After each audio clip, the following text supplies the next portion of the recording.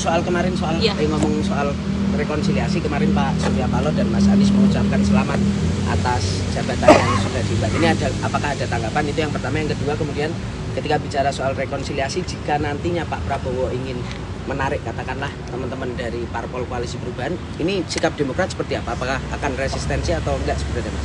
Ya, eh, terima kasih kalau eh, para sahabat ya menyampaikan apresiasi terkait pelantikan saya di dan juga masuknya saya ke dalam kabinet. Menurut saya ini sebuah eh, bagian dari itulah realitas demokrasi kita. Kadangkala kita bersama, kadangkala kita berbeda, tetapi tujuan kita sama. Insya Allah tujuan kita sama.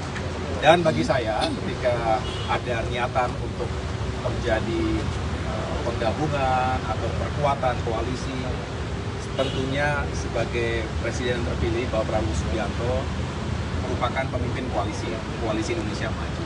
Saya menghormati betul apa yang beliau harapkan atau inginkan, tetapi saya juga senang karena Pak Prabowo itu selalu mengajak kita untuk bertukar pikiran, tidak yang